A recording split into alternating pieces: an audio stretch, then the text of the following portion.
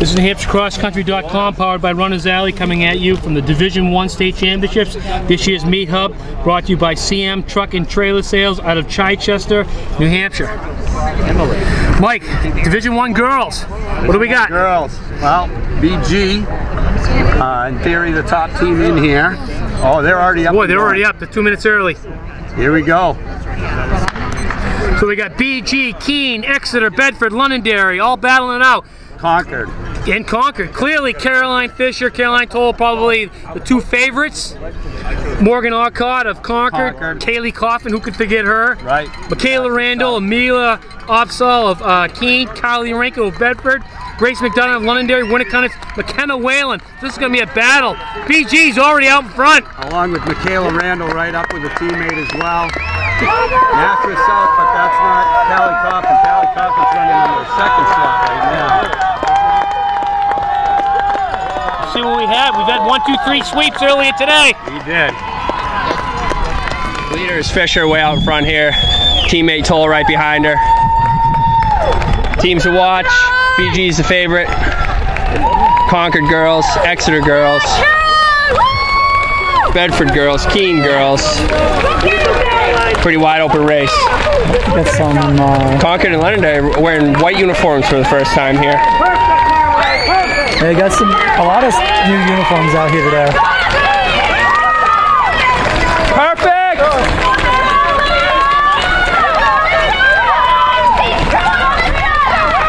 All right. So, like we've seen, this is a pretty common theme. We got a big pack out front. We should see them start to spread out in a little while.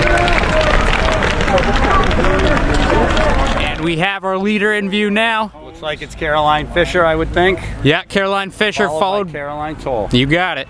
Looks like Michaela Randall and her teammate Opsal in pursuit. After that, I really can't tell yet. I see another BG back there. Caroline Fisher wasting no time to take it out. We're not even a thousand meters in, and she already has. What would you say that is? 25 meters on her teammate? Maybe Yeah, even she's more. she's got a pretty good gap there. Totally opposite of the last race we saw. absolutely. You're right. You're right. And then she's got about another 25 meters on the rest of the field.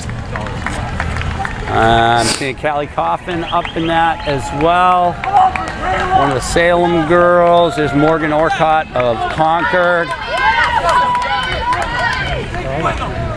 There's Michaela Randall. The, uh, Central. Pepin going through. Concord girls just went one, two, three, four, five, six through already. That look, should bode pretty well for them.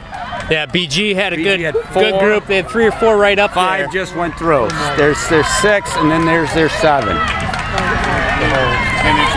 So it'll be, you know, it could be an awful lot like the Souhegan Co Brown battle, where uh, so Souhegan had three up front solid, and then Yep. you had a whole bunch of Coe-Brown girls coming through.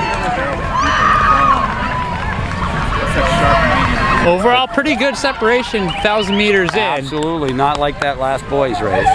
Yeah. Total opposite. We're gonna go ahead see what's going on down at the one mile mark. Okay, Caroline Fisher's in the lead. She's got a good lead. Yeah, pretty big lead for the first mile. Cranking. Caroline Toll right behind her. We can see another one, two, three today. Good job, Caroline. So she's coming through the mile in like 543. Then Caroline Toll only about 10 seconds behind her. Caroline. For a group of uh, Callie Coffin. Looks like Morgan Morgan, Orcutt. Orcutt. Salem, see if they come on today. Now, we'll to start thinking his Guertin's third girl. right now. Guertin's clearly in the lead. Concord's got three, four, five. Concord's winning this race right Yeah, now. big pack right there. Is Bishop Guertin's fourth. But their their four and five needs to tighten up Yeah, to they those to first tighten three. up. Concord's got six right there. Yep, there's Bishop Guertin's five and six. Um, so they really need to tighten up to those first three. They got the low numbers, but Concord had a big pack of like Right. four or five girls running together. So we'll see what happens here. This is unbelievable. Might be a shocker, but a lot can change. as Yeah. we've seen in the other races. Yeah, this first mile you kind of just cruise. Not really any any difficult spots. No. So As long as you stay in contact, you'll be fine. yeah. Hey, you can do a lot of damage on the second mile, and even the third mile once you go over the hill. You Right. get all that downhill. I'd rather be catching than being caught. Definitely. Be the hunter than the hunted. As long as you're as long as you're within contact and have a, a decent position. Right. You don't want to be uh, on your back foot the whole time. No, no, you don't. There you go, girls. Attacking the The race starts up in the woods. It really does. Definitely. Yeah, most of this first mile just autopilot. Like get out well and then just Think chill about into the though, so they were stretched out, and Concord was all packed running. So, and they've been feeding off one another. So this this could be a surprise. We'll see what happens. Good job, Kimberly.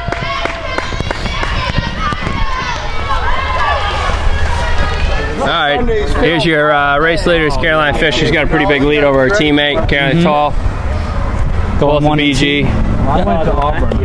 BG needs them to go one, two. Absolutely. Got some tough competition today. Every point counts. Looks like looks like Callie Coffin in third. Yep, I believe so. Awesome, Caroline. Awesome. A lot of white jerseys are messing with me this year. Yeah, they're changing up the colors on us. Here's Renko, BG, Nice running, Caroline. All right, Carly. Cross of Pen- uh, PA, Orcott of Concord, Hey, strong, Carly. Mentally, Michaela let's Randall of Keene, Exeter's number one, go. Go, Dee Dee. Allie McFarland. Here's Concord two, Bedford two, Concord three, Concord four, and Concord five. So Concord's in the lead right now. Good pack going through. Great pass. This is skirting three. This is Guertin three. That's Fiona Doherty. Concord six. Wow. So so Concord's way out in front right mm-hmm. now. Here's BG four.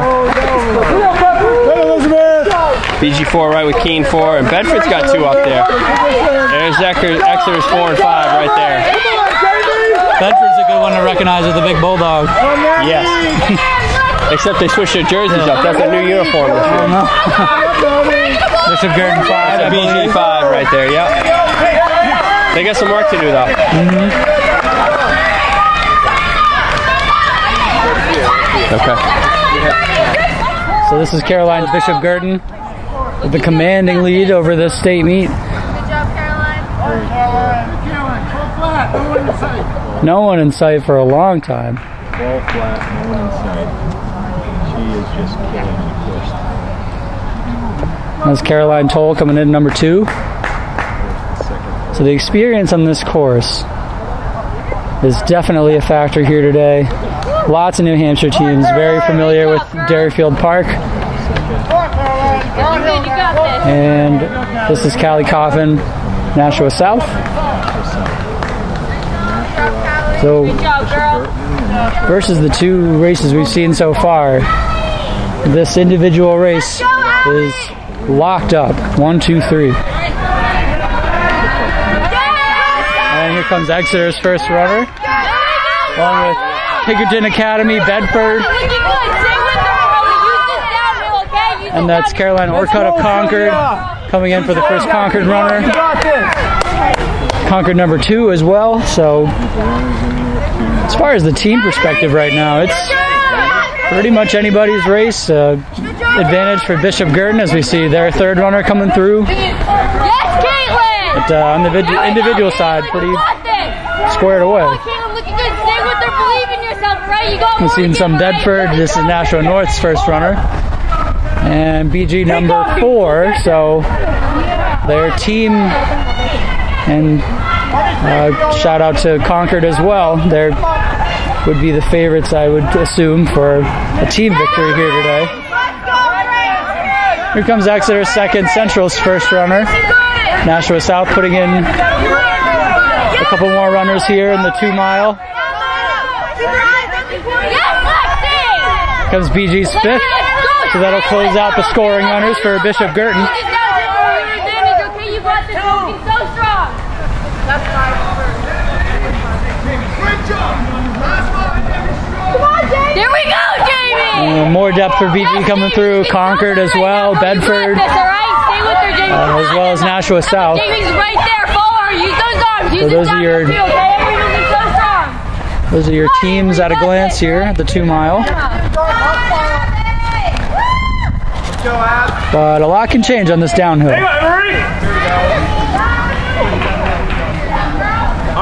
Hey, the books. Only one left, right? So just again coming in, Concord ranked number two.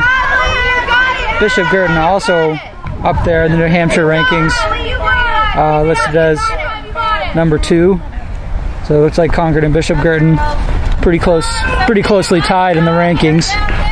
Keene at number four, Exeter number five, Bedford number nine, Londonderry coming in at number ten. Here, ladies! Hey, two's in the books, all right? Two's in the books. One left. One, one left. Lean into the hill, use it, all right? Yes, Holly! Go, you got this! All right, that'll just about do it for the two mile snapshot. We'll see you for the three mile and the finish. All right, so Fisher and BG in the lead here. See what the gap is. Pretty big. Right gap over. top runner. 1450. Right Looks- now it's at least 60. Looks pretty strong. Yeah, Probably save it for next week if she I wants would- to. Yeah. certainly would. Doesn't even look like she's pushing that hard. Should be her teammate coming up next. It was a lot closer at. Yeah, yeah, yeah. Yeah, she only had about 30 meters, what, at the top of the hill? Yep. So,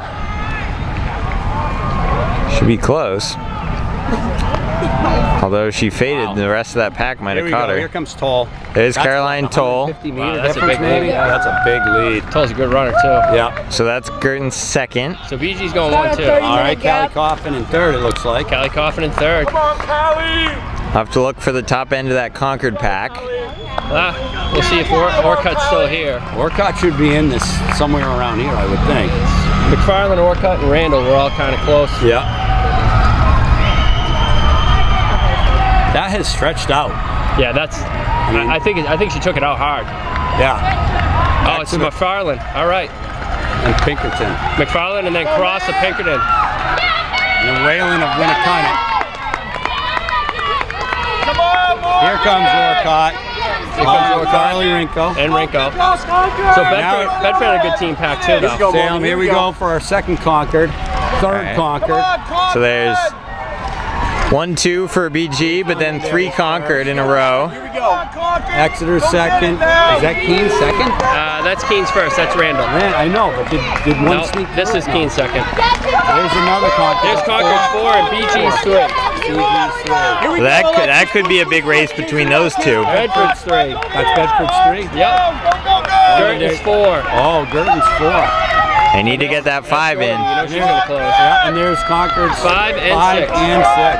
I would say, Here we go, Katie. looking Here we go. Concord, Come on, potentially good job, not Molly. Push it up, push it up. I don't know, we'll have to look at those first points. Oh, those three points. Yeah. Yeah. I Here's think Mercier. BG's five is gonna have to close pretty well. Here's two more Exeter. We're gonna flip around. She can pick up a lot of points.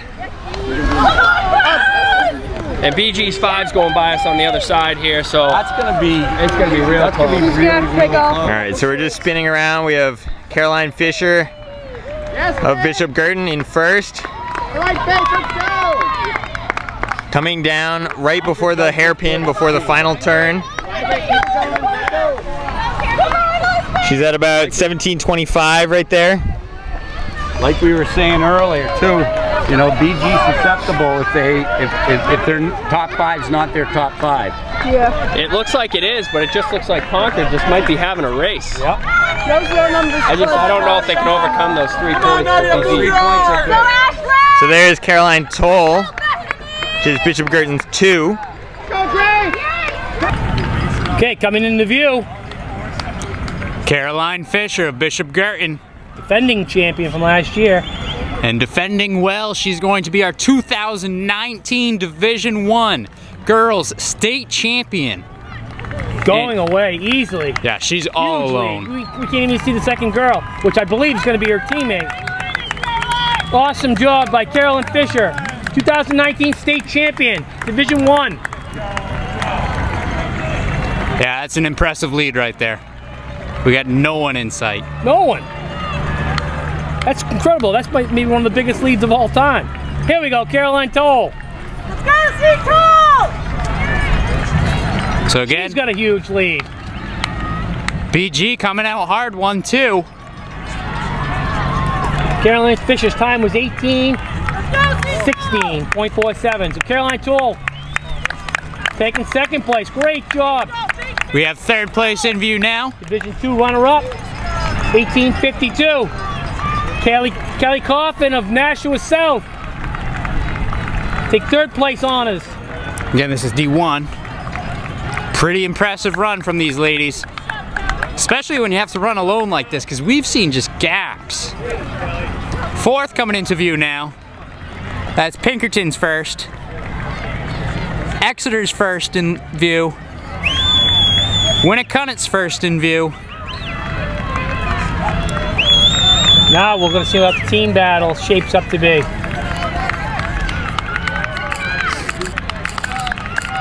The Pinkerton, Exeter, Winnicott making a lot, making a hard move towards the finish. Yeah, that was cross for Pinkerton, McFarland. Whalen of Winnicott.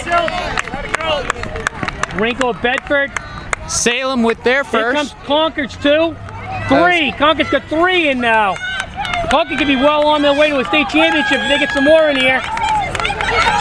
Yeah, Concord BG were the teams to watch coming into this race. Keene's top two.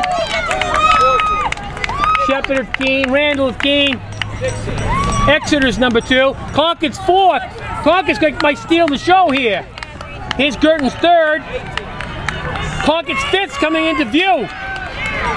This is gonna be a lot. Keene's third's coming into view. Guertin's fourth is coming. Yes. Concord's fifth. So Concord's got five coming in. This is closer than you think.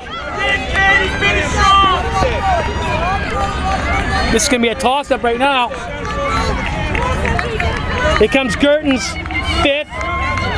She's a little far back. Those numbers are gonna add up quick. This is gonna be a barn burner.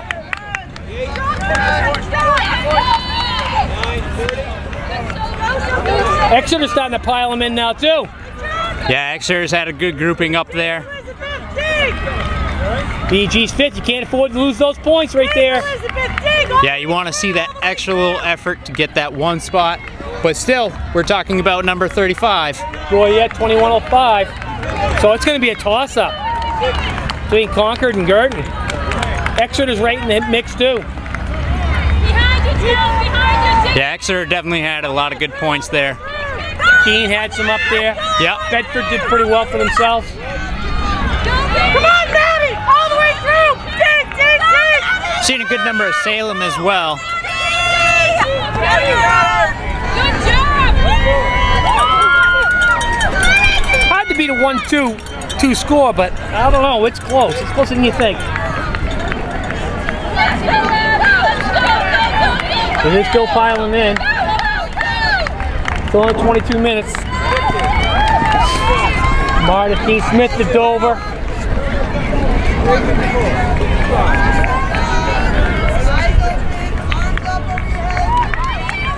Again, what is it? Eight top teams from Division One. Uh, D1, I believe it's top seven Top teams, seven? and then 30 individuals. 30, 30 individuals. Yeah, so I mean, the 30 individuals, we're at number 5960 now. Yeah. So that's done, but top seven teams, that's still, a be- factor. Still being decided, I think. So all of these spots for these girls matter, trying to make sure their team season is not done today. But overall, absolutely impressive race from Caroline Fisher. Oh my God, that was a great race. She's had she's had a pretty good season coming back, and it's it's a good way to I don't want to say cap it because I think she's still got a little oh, bit more. I think she may be the favorite to win New England. I really believe that. Yeah, she she looked good, and again did it all alone. I mean, she had a, a lead at the thousand mark. Oh, really? So it's it's when she you usually at the mile. Yeah, Yeah. It just, you know, she knew she was going to win, so she just took it right out. And sometimes it's relaxing to just get out there, get the win, and then you got a little time to play with. yeah, get a little separation, really feel Yep. yourself out on that day, and be able to capitalize.